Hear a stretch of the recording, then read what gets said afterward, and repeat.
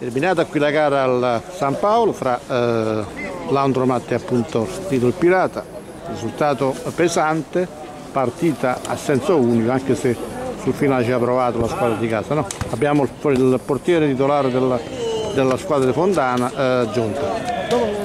Noi è, è, normale che per noi sia un risultato importante, vincere 5-1 e essere venuto a giocare in, con 6 giocatori di movimento e due portieri è difficile andare a giocare ovunque, con la prima, con l'ultima, con la penultima.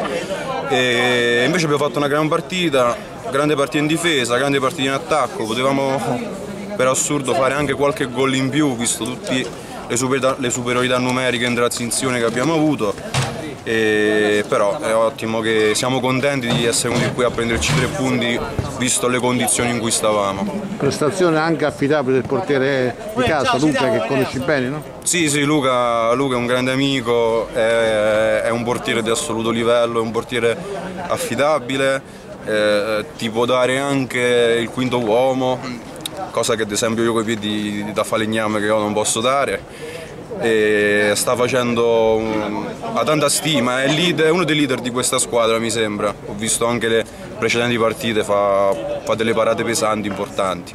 Come hai visto nel complesso l'Andromat? Ehm, secondo me c'è qualcosina che devono, che devono, sistemare, penso soprattutto in fase, di non, in fase, di, eh, in fase offensiva, perché vuoi non vuoi comunque a me oggi io non li ho mai visti giocare, quindi per me è difficile dare un giudizio. E, um, oggi a me sono arrivati pochi, 4-5 tiri, quindi alla luce di quello che ho visto oggi eh, forse qualcosina in fase offensiva si, potrebbero sistemare, ma penso che hanno tutte le carte in regola per raggiungere i loro obiettivi eh, di fine anno.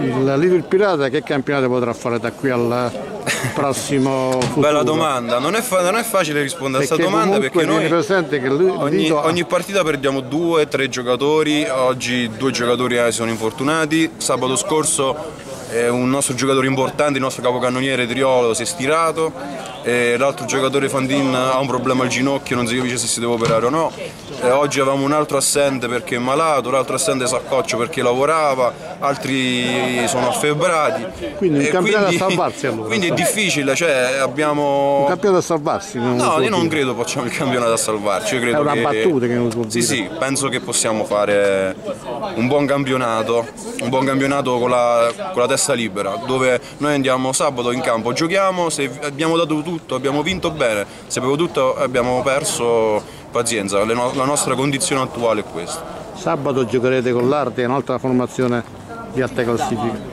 Sì, eh, sarà una partita difficile sicuramente, non, però Dobbiamo, dobbiamo, accettare di giocare anche con pochissimi giocatori queste partite perché nessuno vuole scendere in campo a fare brutte figure.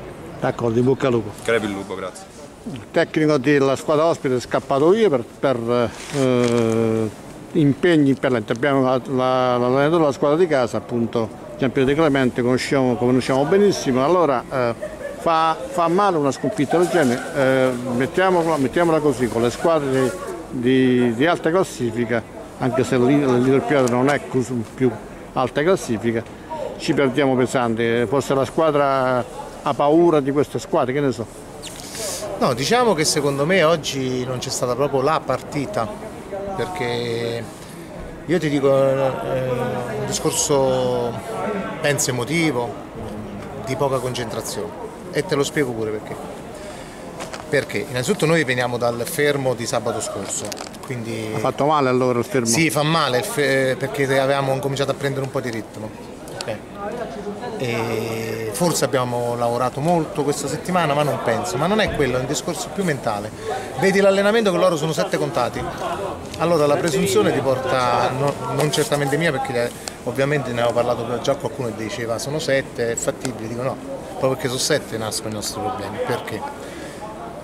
E mezza papera del portiere, 1-0 una mezza papera, la squadra in sette che cosa fa? Mantiene chiuso e riparte. tu che stai perdendo che fai? Vai un po' più alto, bravi nell'uno contro uno, se ne vanno senza problemi. In più, le immagini ci sono, sull'1-0 quante parate ha fatto Alessandro? il loro portiere ha fatto delle belle parate. Secondo me focalizzerei molto le belle parate che ha fatto Alessandro, ha fatto veramente belle parate. Però questa non è una giustificazione. E che comunque poi cosa succede? Che eh, il nervoso ti porta a non accettare e là ti sei fregato da solo.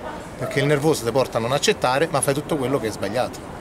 Come ad esempio dico all'ultimo, io faccio uscire un Netani che fondamentalmente mi potrebbe fare da boa, però non voglio fare il gioco con la boa perché stringi tutto al centro.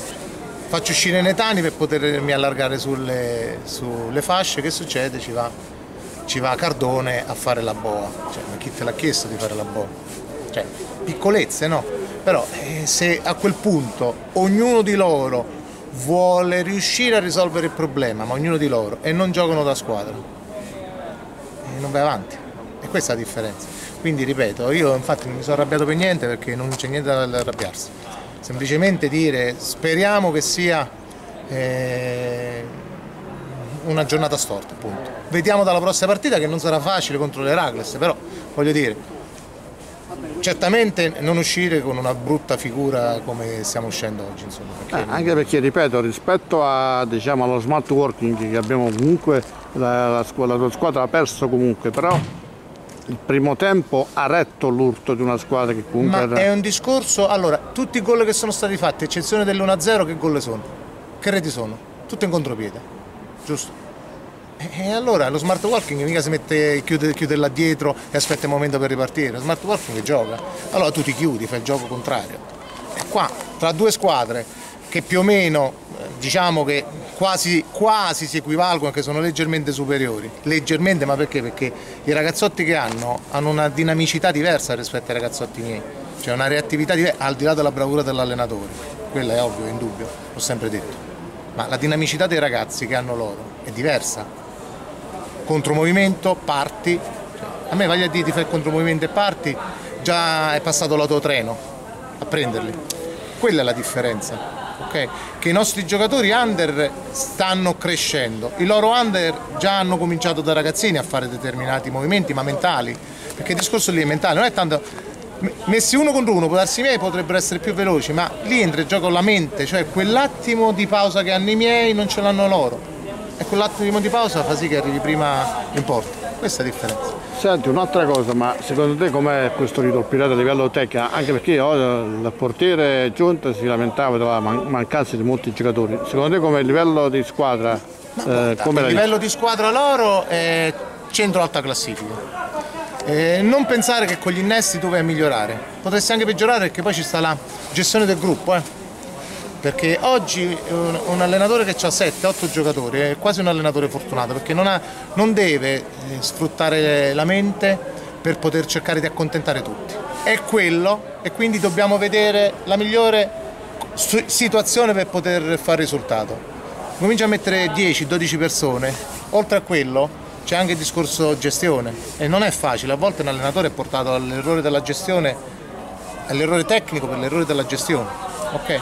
Quindi ripeto, per me sono al momento una spanna un po' eh, al di sopra di noi, però è fattibile. Secondo me sono fattibili, poi è normale, dopo una sconfitta del genere dovrei stare zitto, ma io non sto zitto, non ho problemi. Ti hai già annunciato il prossimo match contro l'Eracles, non sappiamo oggi che cosa sta facendo, ma non lo so. se, se puta caso comunque dovesse portare a casa l'altro risultato positivo, sta sarà carica. No, non sto dicendo, ah, puta caso. Eh, Vabbè, oggi mi sembra che devo giocare contro... Eh, zona Pontina. Ah, ah, quella è una bella partita. Una, la zona Pontina la vedo una squadra molto rognosa. Io la zona Pontina vedo una squadra molto ma molto rognosa, quindi eh, le quattro posizioni dovrebbero essere queste, zona Pontina, Ardea, Smart Working e, ed Heracles. Queste le quattro posizioni che si dovranno giocare. Tutto il resto è buone squadre e cattive squadre noi cerchiamo di mettersi in posizione almeno tra le buone e le cattive e vediamo insomma. D'accordo, okay? In bocca al Crepi.